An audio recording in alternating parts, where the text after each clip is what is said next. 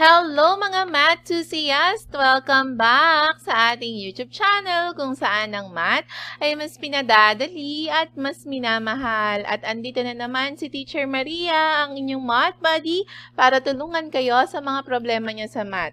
And for today's video, nandito pa rin tayo sa parabola. Pero ang gagawin natin is mag-transform ng standard form to general form and vice versa. Pero, pero bago ko simulan ng video tutorial na ito, mga anak ko, siguraduhin na munang napindot nyo na dyan ang like button. O, pindutin na. At syempre, kung bago ka pa lang sa aming YouTube channel, pindutin mo na rin dyan ang subscribe button at i-hit mo na rin ang notification bell para lagi kang maging updated sa mga videos na i-upload ko. Okay na, na-like, na-subscribe at na-hit na rin ang notification bell. Kung okay na, tara na, simulan na natin. Okay, before we start, alamin muna natin ano ba yung standard form. Kasi paano ba natin isusulat yung isang form sa isang form kung hindi naman natin alam kung ano ba talaga dapat ang maging itsura niya. So, the standard form of uh, the equation of the parabola is this one, ha? So, SF na lang siya. The standard form is, we have x minus h squared equals to 4p and then y minus k. O, yan ang standard form natin, ha? Wherein dapat dito sa ating left side, meron tayong square of binomial. So, paano ba natin gagawin yan? First, kailangan muna natin, ihiwalay muna natin yung may y na term at yung constant term. So, eto, ilipat muna natin sa kabila. Ang maiiwan lang dito, etong dalawa ha, para mabuo natin yung perfect square trinomial. So, we have here x squared minus 4x. Dahil perfect square trinomial nga, we have to add yung another uh, term dito. Equals to negative magiging positive 8y 12 magiging negative 12, ha? Kasi positive siya. Siyempre, kung nag-add tayo kanina dito, or kung mag-add tayo dito, dapat i-add din natin dito para equal. Natatandaan nyo pa yung completing the square, di ba? We have b over 2a squared, okay? So, ang b natin dito ay negative 4. So, negative 4 divided by 2, kasi nga 2 to. Tapos yung a natin ay 1 lang naman. So, 2 times 1 is 2. So, ulit ha, negative 4. Lagi ko na nga. Bakit ba ganyan? Wait. Ay, sorry. Teka ha. Ano nangyari? Yan. So, negative 4 over 2 yan, di ba? Squared. So, this is negative 2 squared. So, you will have 4. So, ito, 4 ito, and then ito ay 4. Okay, and then we factor. Anong factor nito? We have x and then x. Parang square root lang nito, saka square root lang nito yan, ha? So, we have x and x and then square root ng 4 ay 2 and then 2. And then dahil ang middle term ay negative, negative, negative yan. Equals to 8y, negative 12 plus 4, you have negative 8. Tama.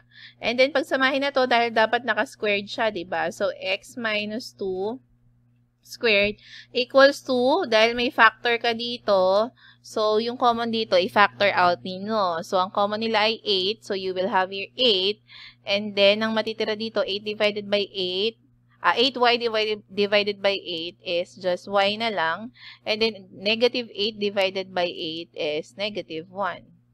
O, tingnan nyo nga kung magkamukha na sila magkamukha na. So, eto na yung standard form natin. Ganun lang siya kadali, ha? Okay, yung general form mamaya na, puro standard form muna tayo para hindi kayo nalilito. So, ulit natin, or ulitin natin, etong mga to, lipat muna sa kabila, ha? So, ang matitira lang dyan yung x squared saka 8x.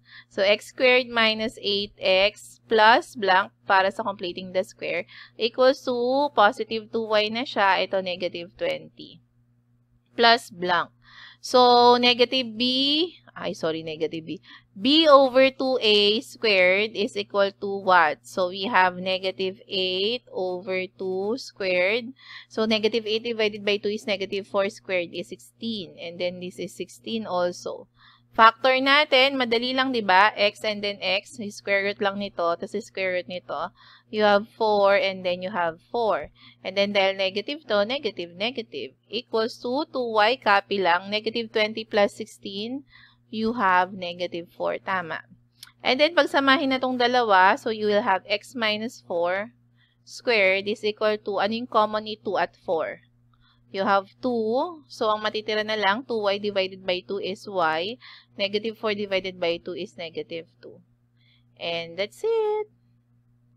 Okay. For number 4, ang maiiwan ay si y squared sa kasi negative 4y. Hindi x ha, kasi ang naka-square natin dito ay y.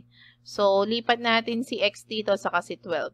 Matitira si y squared minus 4y plus blank equals to, so negative 2x magiging positive 2x minus 12 na yung 12 natin kasi positive yan. So, plus blank. Okay, b over 2a ulit tayo, b over 2a squared. Ang b natin ay negative 4 divided by 2, that's negative 2 squared. We have 4. And then we have 4. Okay, factor natin y and y, square root ng y squared. Square root ng 4 ay 2, and then 2. Dahil negative to, negative, negative. Pero pag positive to, positive, positive ha. Sorry, puro negative pala naging example ko. So, we have 2x. What is negative 12 plus 4? That's negative 8. Okay, then pagsamahin na natin to, y minus 2 squared equals to, anong common kay 2 and 8? Greatest common factor nila or common, greatest common monomial factor. So, we have 2. Matitira sa loob ay x and then negative 4. Kasi, 8 divided by 2 is 4 and then that's negative. Okay, okay na yung ating standard form. Now, ano naman ang general form? Okay, ang genu general form kasi natin ay ganito. I-delete lang natin yung mga yan. O, yung kabaliktaran niya, yung gantong form, yung given sa number 1, ano yun? So, we have a x squared plus dx plus ey plus f equals 0. So, yan yung ating general form. So, ang gagawin lang natin, expand lang, ha? Dahil ito ay x minus 4, okay, times x minus 4, kasi naka-square, ba? Equals negative 4y plus ay, hindi. Negative 4 plus 2, mamaya na natin. I, uh, ano natin siya, i-distribute. O, eto muna tayo. This is x squared, x times x. Negative 4 times x is negative 4x. x times negative 4 is negative 4x also. And then, negative 4 times negative 4 is positive 16. Tapos, ito distribute, negative 4y. Negative 4 times 2 is negative 8. Combine natin to x squared minus 8x plus 16 equals to negative 4y minus 8. So, pagsasama-samahin na natin na dapat maging ganito yung form, ha? O, lipat to dito, lipat to dito. So, x squared minus 8x kasi x daw muna. And then, we have yung y naman.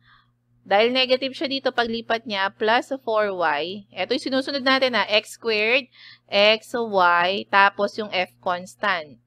Plus 16, tapos plus 8 equals 0. Pero isa lang yung constant natin dapat, kaya combine natin to. x squared minus 8x plus 4y plus 20, ilan to? 4 equals 0.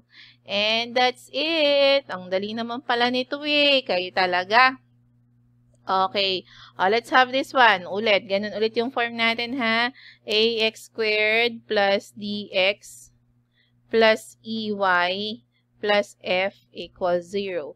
So, dahil dito ang magiging squared natin ay y, magiging ay squared plus ay plus ex plus f equals 0. Expand natin to y plus 8 times y plus 8. Kasi naka-square, ba? Equals to 3x minus 15.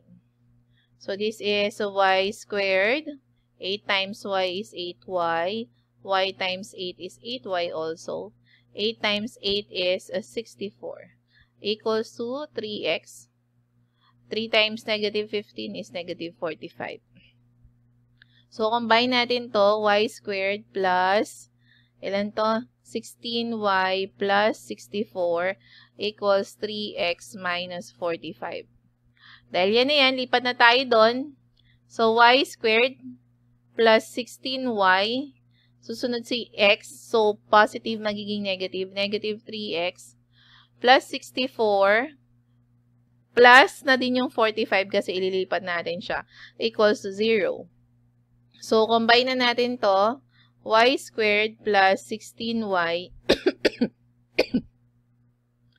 minus 3x excuse me mga anak, plus 9, 109 equals to, tama ba? Tama, 0. And this is it. Ayan, mga anak ko, kung natulungan ko kayo ngayon sa video na to, please i-comment yan sa ating mga sa ating comment section ha. Mga anak ko, grade 11, please comment ha. Medyo konti pa lang nanonood ng videos natin and medyo sayang ang boses ni Teacher Maria kung hindi naman natin matutulungan din ng iba. Kaya mag-comment kayo sa ating comment section para ma-up itong video na ito at makita rin naman siya ng iba. At syempre, huwag suluhin ng video, i-share sa mga classmates, baka nababaliw na sila. Katulad din ninyo, ha?